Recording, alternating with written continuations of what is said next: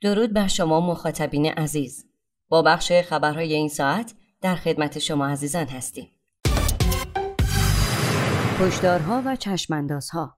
پس از هشدار خامنه ای نسبت به خطر تکه تکه شدن نظام به خاطر بحرانهای مرگبار مواضع کارگزاران کارشناسان و مقالات رسانه های حکومتی 29 آذر نیز مملو از نگرانی و وحشت نسبت به تکه تکه شدن نظام است.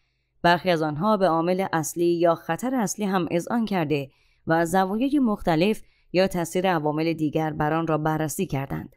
از گرانی های لجام گسیخته تا فاجعه کرونا و از فساد و غارت نهادینه و اختلاف بی سابقه طبقاتی تا نفوذ آرمان های دشمن نظام در فکر و عقیده جوانان.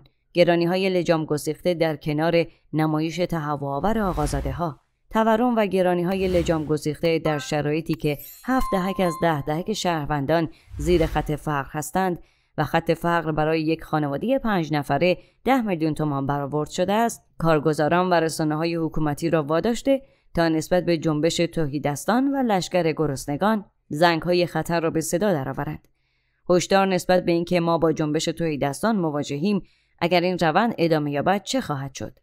فرودستان که نیمی از جامعه ایران را تشکیل می دهند به شدت ناراضی و زیر فشار و تنگنا هستند. آنها در تحولات آینده قیام نقش و سهم جدی خواهند داشت. این وضعیت در جامعه به شدت دو قطبی شده میان 96 درصدی های محروم و 4 درصدی هایی که 41 سال است بر عریکه قدرت سوارند و سرمایه های کشور را غارت و مردم محروم را استثمار می کنند. فاجعه اختلاف بی سابقه طبقاتی را به جایی رسانده که راندخاری، بیکاری، تورم، لجام گسیخته، نمایش زشت و تهوعآور آقازاده ها، اختلاس و ارتشا و حذف آرام آرام طبقه متوسط، فقر و نداری و ایجاد دره عمیق میان ندارها و داراها و وجود کاخهای رویایی در کنار انبوه کوخها کاسه صبر شهروندان از درگاه رانده و از همه جا مانده را لبریز کرده است. این را هم باید در نظر داشته باشیم که در اعتراضات آبان 98 هم یکی از برجسته ترین نمودهای نزدیک شدن طبقه متوسط و فرودست را شاهد بودیم.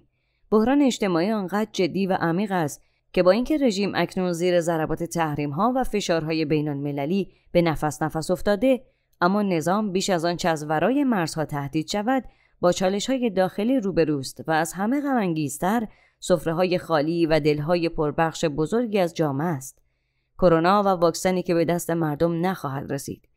علاوه بر فقر و محرومیت روزافزون سیاست های ضد انسانی رژیم در مورد کرونا خشم و نفرت مردم را به نهایت رسانده است تا آنجا که رسانه های حکومتی ضمن یادآوری اینکه جهان با شتاب به سمت واکسیناسیون عمومی و رایگان پیش رفته و اتحادیه اروپا با 80 میلیون دوز واکسن کرونا، بریتانیا با بیش از 7 میلیون دوز، ژاپن با 50 میلیون و کره جنوبی با 20 میلیون و سوئد با 7 میلیون دوز در صف خرید واکسن مدرنا قرار دارند حرفهای رئیس کمیسیون بهداشت مجلس ارتجا را یادآوری می کنند که گفت فعلا خبری از واکسن کرونا در ایران نیست آنگاه امید بستن به رژیم برای وارد کردن واکسن کووید 19 را سراب معرفی کرده و می نویسد روزهای سخت کرونا در حالی که جهان دارد به پایان پاندمی نزدیک می شود همچنان روی خوش به مردم ایران نشان نمی دهد. در این میان پتی بهانه های پیاپی سران و کارگزاران رژیم در رابطه با واکسن فایزر که باید در دمای منفی 70 درجه نگهداری شود و ما امکان آن را نداریم توسط کارشناسان رژیم زده شد و آنها با اشاره به تایید واکسن مدرنا که چنین محدودیتی ندارد می‌گویند بهانه یخچال منفی 70 درجه نداریم هم پرید پیش به سوی بهانه بعدی. اسب تراوای دشمن و نفوذ به عمق سرزمین فکری جوانان. در این وضعیت که به خاطر نفرت گسترده اجتماعی بستر قیام بیش از همیشه آماده است دشمن نظام هم مخفیانه و غیر ملموس اما خطرناک در حال تهاجم و آتشباری ویرانگر برای اثرگذاری علیه نظام است شدت حملات دشمن برانداز در این جنگ تا آنجاست که تهاجم و جنگ فرهنگی این روزها در بستر فضای مجازی به جنگ تن تن تبدیل شده و هر روز و هر ساعت نوجوانان و جوانان زیادی را روانی این نبرد می کند. گویا دشمن همچون اسب تراوار نفوذ به عمق سرزمین فکری و عقیدتی نوجوانان و جوانان ما را هدف گرفته است. آری ابعاد وضعیت انفجاری جامعه به نقاط بسیار حساسی رسیده و زمین را زیر پای خامنه ای و رژیمش بیش از هر زمان دیگر به لرزه درآورده است. تا جایی که باید منتظر باشیم رفتارهای حاکمیتی خود را به صورت تنازعات اجتماعی در کف جامعه بروز دهد و در سالهای اخیر هم جلوه خشن و خطرناک آن را به صورت روشن تجربه کرده ایم و آستانه تحمل فرودستان به پایین ترین درجه تنزل پیدا کرده و این وضعیت می تواند در لحظه و با جرقه از تحریک به شورش لشکر گرسنگان بیانجامد. ملاحظه می شود که تمامی هشدارها بیانگر این است که اصلی ترین بحران برای رژیم رویارویی مردم ایران با نظام ولایت است که سایر بحران ها هم از این بحران اصلی ناشی می شود و هم نهایتا این بحران اجتماعی را تشدید می کند.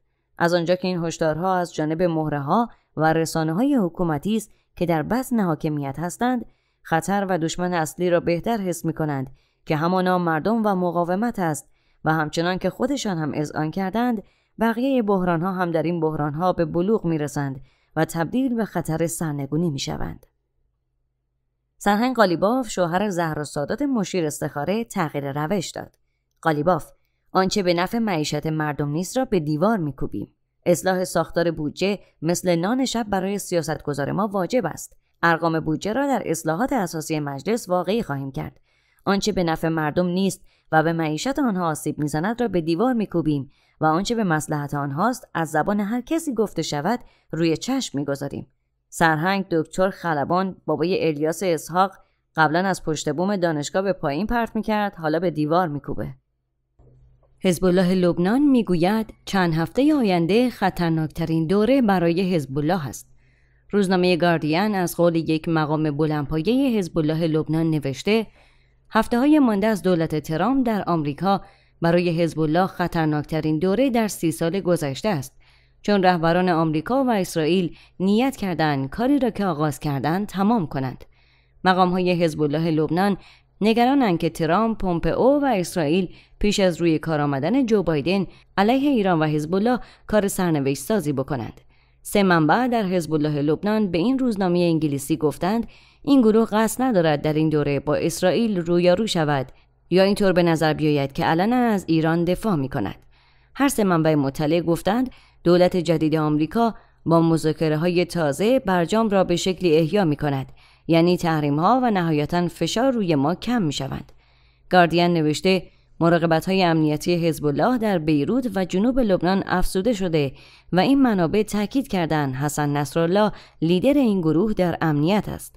این منابع در حزب الله گفتند همه اینها برای حفاظت از رهبران ماست. شواهد خاصی نداریم اما چیزی کلی در فضاست. اکنون زبان خطرناکی است. ترامپ دیوانه است اما به خواستش نخواهد رسید. او صبر ندارد و زمان هم ندارد. گاردین مدعی شده در مقرهای حزب الله افراد به ساعت و همچنین آسمان را بابت جنگنده های اسرائیلی و زمین را بابت آمد و شد خودروها در نزدیکی مقرشان می پایند. دوستان شنونده به پایان این بخش خبری رسیدیم تا بخش بعدی خدا نگهدار